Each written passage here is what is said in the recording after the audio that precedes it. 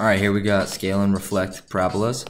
Scale means to multiply, and reflect means to multiply by a negative. Parabola y equals x squared is scaled vertically by a factor of 7.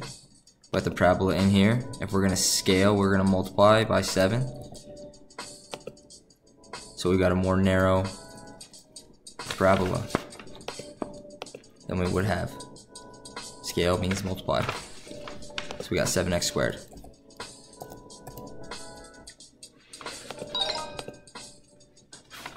Here, we're trying to take this base function and we're trying to scale it, trying to multiply it by something that makes, uh, that causes it to go through this particular coordinate point. We're gonna use the table and this regression uh, in order to figure out what A is, what the scalar is. So I'll turn on the table. I got the regression right there.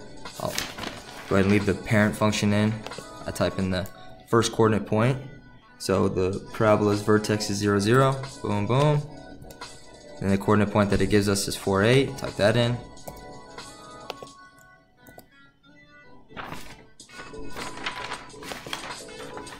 Gotta make sure I got the 1 by the x. Boom. Now we're good. 0 0.5. So over here I'm putting in 0 0.5 x squared.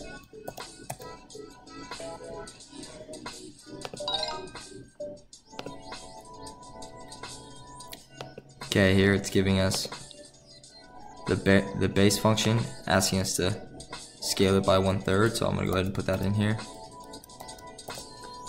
and I'm just matching it up. So which one looks similar? All right, this one, this one they're scaling inward. Blue is F, G is the dashed. We want F to be more narrow than G. Boom.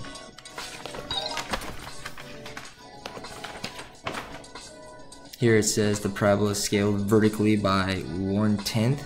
Scale means to multiply by one tenth. You can see that's how it look. How it would look compared to the parent function.